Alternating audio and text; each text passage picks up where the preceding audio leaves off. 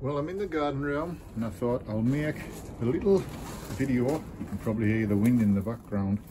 There's me cube on. I put the batteries in it. Oh, I've just bumped my head.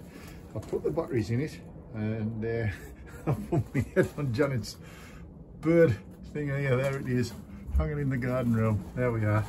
Anyhow, I've got a couple of blues bowls here and I think we're going to have some fun on this course. You know, that's me indie blues bowl, that one. That one that is actually a one that was made between three of us, myself, Chris and Barry Teague. Barry Teague's going to be on the course as well, so you will meet him. There's a three quarter down there in pieces, which I'll just talk about in a minute. And these the baby blues bowl. This is the smallest one. 600 mil between centres, you can make this one. And uh, it's made out of ash, finished in the, the oak chestnut stain and the metallics. So, little button in the middle there as well. Oh, little jack plug socket there, and I've got the cordless um, connectors for the amp. Anyhow, we'll have a little bit play and I'll talk about the different types of blues bowl that we're going to be making.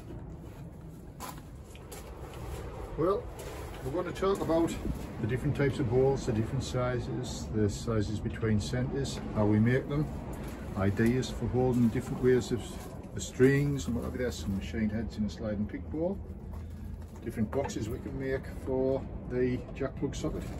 Different ways of holding the strings. That's a fork in there on the baby blues bowl and or the baby baby blues bowl clearly. There's the original one. There's the original blues bowl that was made in 2016 that was my first one inspired by the Seasick Steve three string cigar box guitar that we saw on Jools Holland on the New Year's Eve. The wine box there, and that's the same as what you're going to make. That is, well, that's the same as what I'm going to make. You can make whatever you like. You can make the whatever design, it's down to your imagination. But the basis of making them, they're all very, very similar. And we will talk through the different methods in the construction. So on the side over here, this is the one going similar to what we're going to be making. This is the loose ball and this has got, it's got a, it's just a plain ball on the back there, it's just a plain tulip wood ball and the sapele neck. Fret markers are marked in with the, just burned in into position and this one's got the phosphor bronze strings, that's these strings here which are the Rotosound phosphor bronze, those there and they sound quite sweet. And I'll just put them back onto there. And there we go. That's the acoustic sound on that one. GDG that one's in. I'll just put this one over here. So there we go. That's going to do the one. That will be what I'll be making. If you want to make one like that but if you want to make a different design or a different size you can. For example this is the 750 millimeter that's the neck of the 750 millimeter. Some of them we split turn some of them we turn we plane down. I'm going to go through the different methods of making the neck. And i'm going to also talk about the method of making the neck off the lathe so that if you don't have a lathe that's long enough for a full-size neck you can still make the blues bowl on the lathe but you can actually make the neck off the lathe that's got an oak fretboard. This one will have real frets in it similar to that three quarter one there. There's the three quarter one there on the wine box guitar. And that was a wine box given to me by a very very good friend of mine Kath down in Oxford who I used to steer with when I demonstrated at the till post. So there's the ball for this three quarter one sapele it's still got the chuckle point on. Hasn't been sanded yet. It's going to be used as part of the examples in the course the blue peter bits and pieces. And there we are. There's your three quarter one there this is the one that I've just finished over here, this little baby blues bowl. Baby blues bowl clearly, that's that one there. Uh, actually, I've got a cube amp over there, so I'll just switch the cube amp on for that one. Um, it's a battery powered amp, this one.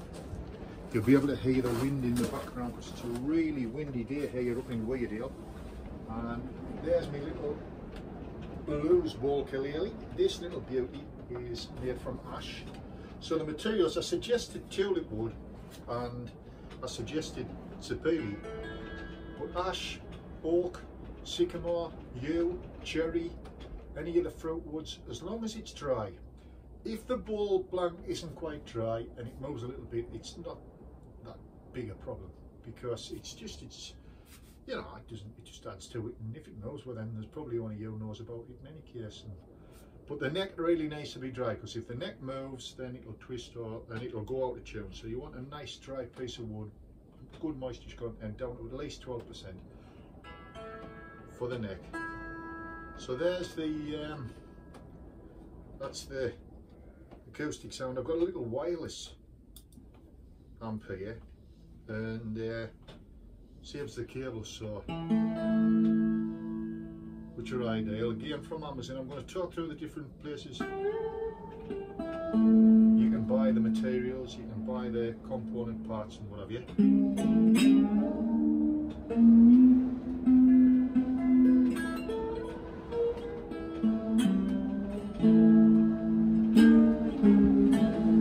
So that's the little blues bowl colour. So I'm just going to take this out of this jack plug socket here and we'll, I'll tell you what, I'll plug it into uh, this one here. Now this one is my two favourite blues bowls at the moment. They are a collaboration between Chris and Barry Teague and myself. Barry was my very first student to come on a course. He's actually made the straps as well, the leather straps, beautiful they are. And he came on a course with me and back in 2016 and he's made in excess of 30 blues bowls I would imagine. Some real beauties. He has them on display when we do the stands and that at, at Harrogate and at um, Newark. Jackfruit sucking into there. I'll just take the tuner off here. Again, I'm going to talk you through the different tunings. This one is in GDG, but we do have them in DAD and B and sorry EAE. I'll tune it up on here. It'll not be far away I don't think.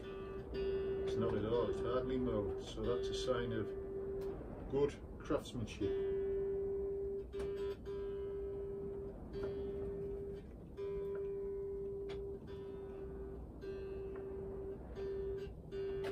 See it?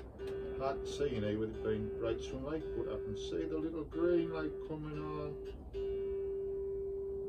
Now, ready?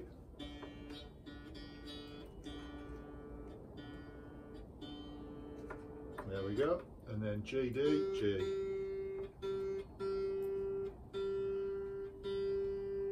So there's the acoustic.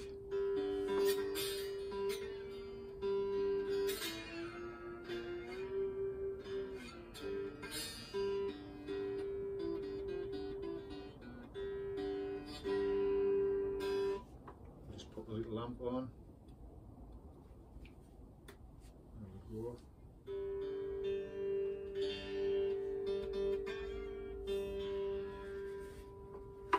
That's switched on.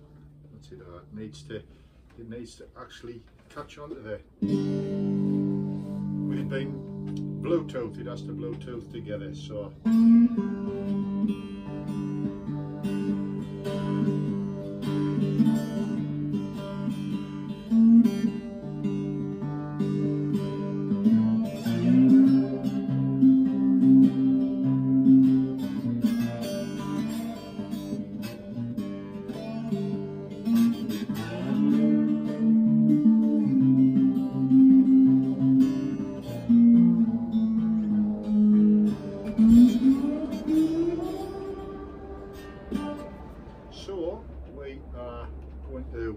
Materials, the sizes, the manufacture, the assembly, different ideas for designs and over the course of the, the three sessions you will be able to make a blues bowl alongside me.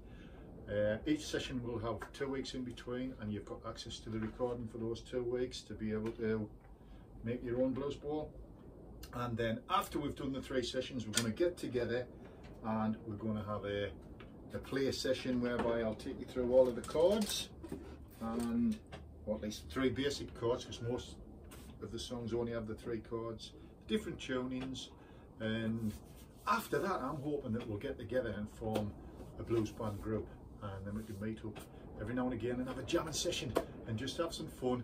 So I'm looking forward to seeing you on the course and um, any questions, get them ready to go into the chat box. We'll have Carl in the chat box with us, we'll have Janet with us, who's also hosting as well and helping me, passing me on the materials and everything like that.